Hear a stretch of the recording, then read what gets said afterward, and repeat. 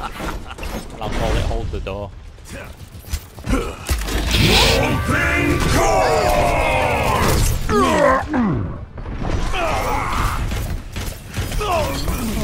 Nerf this!